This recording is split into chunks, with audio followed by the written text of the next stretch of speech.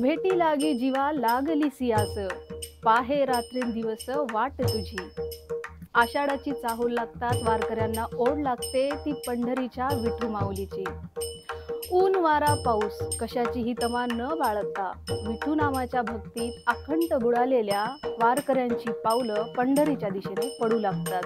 या रे सान थोर याती भलते नारी नर. वारी सोहळा हा सर्वांचा. इथं ना जातीपातीची कुंपण ना धर्माच्या भिंती. वारीच्या वाटेवर पडणारी अबाल वृद्धांची स्त्री पुरुषांची सर्वांची पावले समान. ना कोणी ज्येष्ठ ना कोणी कनिष्ठ. फुगडी घाली आजगे नाचू सहजा सहजगे विठू माऊलीच्या भेटीच्या नुसत्या कल्पनेनंच वारकऱ्यांच्या आनंदाला पारावार उरत नाही. वाटेत वारकरी फुगडीचे फेर धरतात. भजन कीर्तन उभे आडवे रिंगण करत टाळ मृदुंगाची धून लेझिमचा ताल मुखी ज्ञानबा तुकारामचा घोष.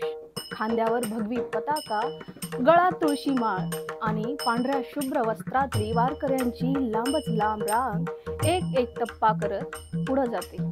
अवघे गरजे पंढरपूर चालला नामाचा गजर. मजल दर मजल करत वारकऱ्यांचा हा मेळा त्यांच्या माहेरी म्हणजेच पंढरपूरला पोहोचतो. चंद्रभागेच्या तिरी उभा मंदिरी तो पहा विठेवरी. विठू माऊलीच्या दर्शनासाठी आसुसलेले वारकरी विठू माऊलीच्या चरणी लागतात. त्याचं रूप डोळ्यात साठवतात. रूप पाहता लोचनी सुख झाले हो साजणी वर्षभराची ऊर्जा घेऊन भरल्या पावलांनी विठू माऊलींचा निरोप वारकरी घेतात. संत ज्ञानेश्वर महाराज यांच्या पालखीने आज अकरा जूनला तर दहा जूनला शनिवारी संत तुकोबारायांच्या पालखीनं पंढरपूरकडं प्रस्थान केलं. वारीच्या या सोहळ्यात यावर्षीही लाखो वारकरी सहभागी झाले आहेत.